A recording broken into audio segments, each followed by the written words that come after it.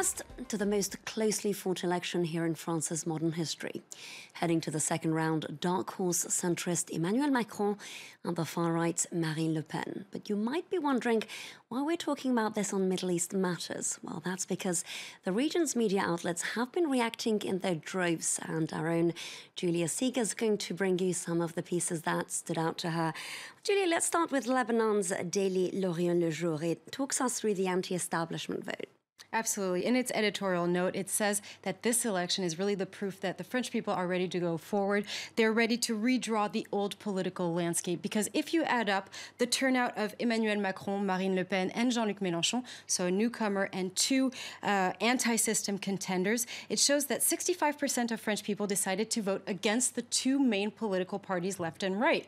And this is the first time in the history of France's Fifth Republic that the two main political parties are ousted in that way in the first leg of the election.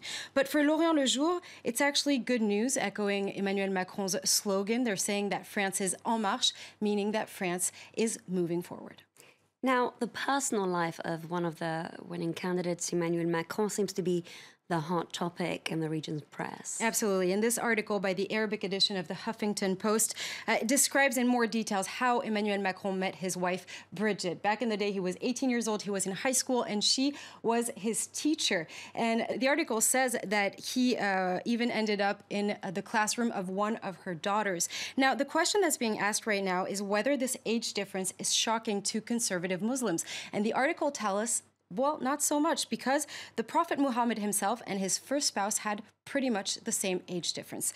Uh, and it's really, like you said, a recurring theme. It's also mentioned in this article posted by the very conservative Iranian website Asr-e Iran.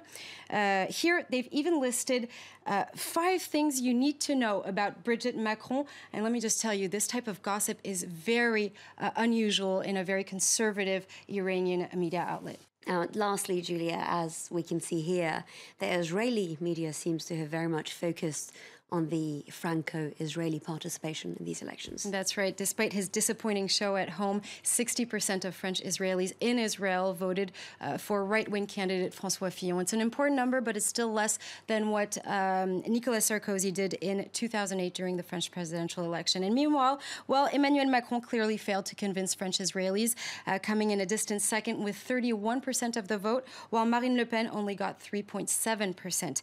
Uh, many French Israelis say today that their goal is really to block the far right candidate uh, because mainly because her party has been accused of being anti-Semitic, but also because she's pledged to get rid of dual citizenship. So many of them are going to have to choose between one or the other.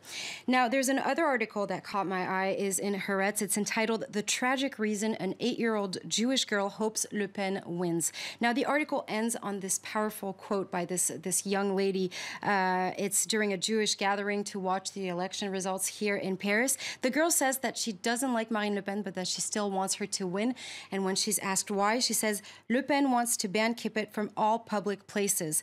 And since bad people attack Jews who wear kippah, maybe banning them is the way to stop the violence. Julia Sieger, thank you very much for that mini press review of the region's coverage of thank the French elections.